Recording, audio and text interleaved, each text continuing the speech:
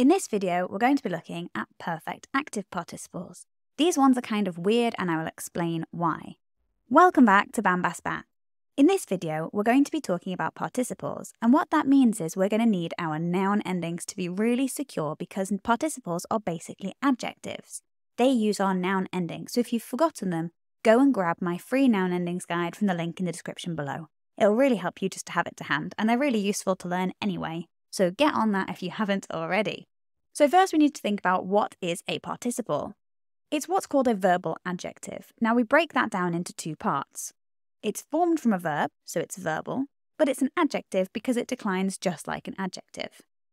It has a tense because it is formed from a verb, but it declines like an adjective, so it has number, gender, and case, and it has to match the noun that it's describing in all those three things, just like an adjective. There are four types of participle that we really need to know. The first one is present active, carrying perfect passive participles, having been carried, future active participles, being about to carry, and perfect active participles, having spoken. Now, these are what we're looking at today, but these are for deponent verbs only. Perfect active participles are actually quite weird. I really like them because, as you all know, I like weird grammar points in Latin. That's why I do this. But anyway, Perfect active participles are formed from the third principal part of a deponent verb. Now, that is very different to perfect passive participles. Perfect passive participles and future active participles are formed from the fourth principal part of Latin verbs. However, deponent verbs do not have four principal parts, they only have three. So the perfect active participle is formed from that third principal part.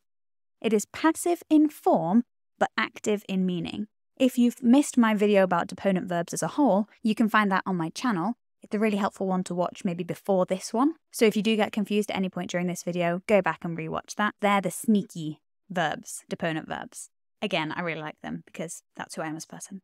Perfect active participles, like all participles, match the noun they're describing in case, number, and gender. They decline like a 212 adjective. What that means is they use the second declension, first declension, and second declension neuter endings, so they use us, at, um. I'll get a bit more into those endings in one second.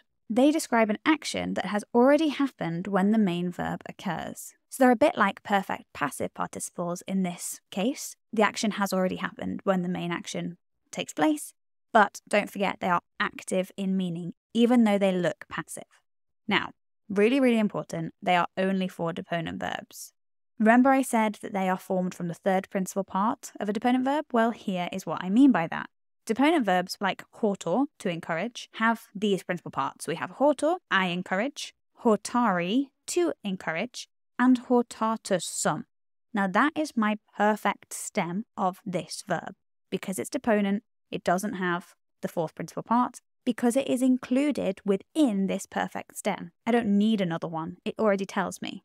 They are passive in form, but they are active in meaning. So I encouraged. So this bit in bold from the third principal part, just the hortatus, that's the bit that my perfect active participle is formed from. I take off the verb to be, the sum that's on the end of my third principal part, and then I add my endings to that. So I have us, hortatus, I have hortata if I'm describing a feminine noun, and I have hortatum if I'm describing a neuter noun. They're my singular nominatives. I can have them in any case. Remember, they have to match my noun with whatever case they are describing. These are my plural endings. Again, don't worry about learning them right now off this one little bit of video. You can download my free noun endings guide from the link in the description below and have it to hand while we go through these and if we're in the future. Let's have a look at an example. Nuntius locutus discessit. This can look a little bit confusing because if you're not sure about your deponent verbs, you might not guess that locutus is deponent, it is not passive. However, you all know that locutus is one of my favourite deponent verbs, so obviously I was going to use it for this example. So nuntius is my nominative, and locutus is the participle that is describing that messenger. The messenger, having spoken, left. So it's active in meaning, having spoken, he's the one who spoke, he wasn't spoken to, or he wasn't spoken about, but he has spoken. So the messenger, having spoken, left.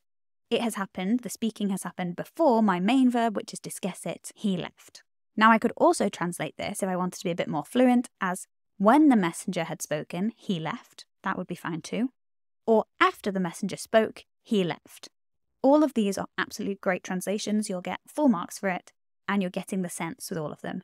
Just depends on which your preference is. I really like the messenger having spoken left because I keep that sort of participle vibe going, but any of those are absolutely perfect.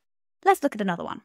Feminae servum secutae tabernam intraverunt. Now, this one is a little bit longer, a little bit more confusing.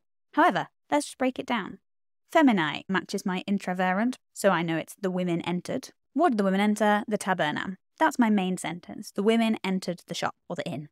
My servum secutae just gives me a little bit more information. I can see from secutae that it matches, in case number gender, my feminae, my women. Now, secutae comes from sequor, which means I follow. So in this case, it means the women, having followed the slave, entered the shop. Again, I could translate this in various different ways. I could say, having followed the slave, the women entered the shop, or the women entered the shop after following the slave. Any of those are fine. And that's all there is to perfect active participles, really. They're actually a lot simpler than they sound when you first hear about them. You just take that third principal part from your deponent verbs dictionary entry, you take off the verb to be, and then you add the correct endings based on the noun you are describing.